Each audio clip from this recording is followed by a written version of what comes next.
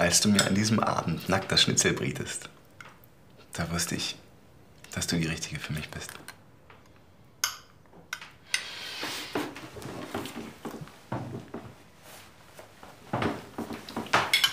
Martina, Ja? willst du meine Frau werden?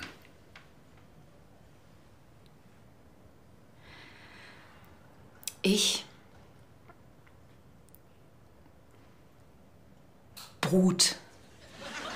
Was? Ich brut das Schnitzel. Nee. Du brotest. Hä? Ich brätete? Was? Du sagtest, du brietest. Das ist die falsche Konjugation. Das ist doch jetzt völlig egal. Ich mach dir hier gerade einen Heiratsantrag. Also willst du meine Frau werden?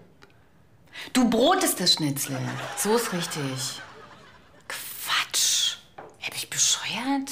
Mein Gott, du hast halt ein Schnitzel gebraten, ja? Perfekt. Gut. Und? Ich habe gebraten, es ist perfekt. Wir suchen das Präteritum. Warte. Ähm, ich bratete, brätete, brütete, bräutete, brötete. Ich briete, ich briet, ich briete Schnitzel. Du brietest das Schnitzel, so ist richtig. Und?